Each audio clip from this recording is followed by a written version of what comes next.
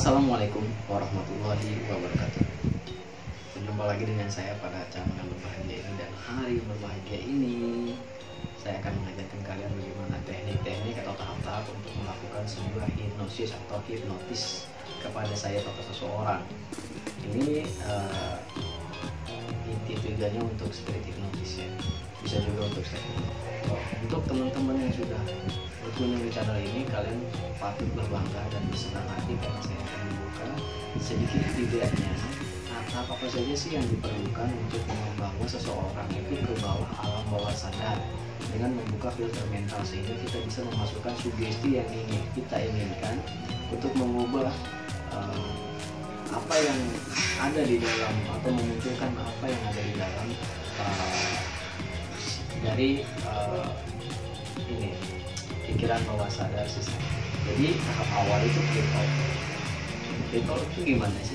Pre-talk uh, pre itu awal talk itu uh, bicara. Jadi uh, hipnosis itu perlu dilakukan sebuah pencairan suasana. Pencairan suasananya dilakukan dengan menggunakan pre-talk dalam hipnotis kita gagal pre-talk maka kita gagal untuk menghipnosis seseorang. Bawalah seseorang itu ke suasana yang senyaman mungkin dan aman mungkin menurut kita dan menurut si objek yang akan kita uh, hipnosis. Sebenarnya bukan objek ya subjek ya. Seorang yang akan hipnosis itu kita katakan subjek atau saya. Ketika kita sudah berhasil untuk membawa seseorang itu ke zona nyaman antara dia dengan kita untuk berbicara. Maka kita sudah memiliki jembatan. Jembatan untuk menyeberangi yang namanya filter mental tersebut atau pikiran bawah sadar. Ketika filter mental sudah terbuka itu yang kedua uji sugestibilitas.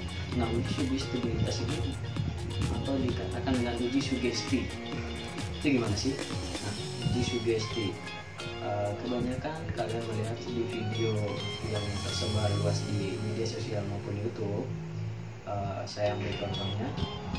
Tolong mbak uh, kepalkan tangan anda seperti ini misalkan. Kepalkan atau uh, tekan jari anda seperti ini buat seperti ini. Maka seketika jari kita menempel antara telunjuk dengan ibu jari atau kepalkan tangan. Maka seketika tangan tersebut akan terkepal tidak bisa dibuka sama sekali. Itu uh, jika ada sayap atau objek atau rusak yang terkena dengan uh, sugesti kita maka otomatis tangan atau jarinya itu terlengket secara otomatis karena dia mengikuti apa yang kita perintahkan. Seperti itu. Kemudian induksi induksi sendiri di sini ada tiga teknik yang saya jabarkan yang pertama shock induksi. Shock induksi itu apa? Shock induksi itu adalah uh, teknik menginduksi dengan cara mengagetkan. Jadi contohnya seperti ini misalkan uh, di sini ada seorang hipnotis dan saya adalah sayapnya.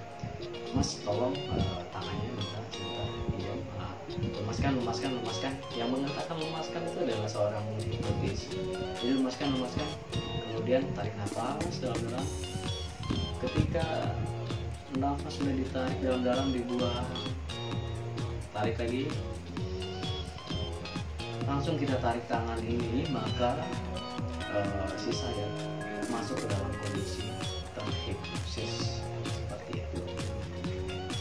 Kemudian bingungkan makanya bingungkan ini itu misalkan mas mas tos tos tos tos tos. Kemudian kita tidak tos tangannya kita tidak tos tangannya akan tetapi kita langsung menepuk kepalanya. Tos tos tos tos, tos. tidur. Tidur lebih nyaman lagi tidur lebih rileks lebih dalam lebih nyaman sedalam bisa senyaman yang sebelumnya kamu tidak pernah merasakan seperti itu contohnya. Kemudian uh, suruh melihat alis.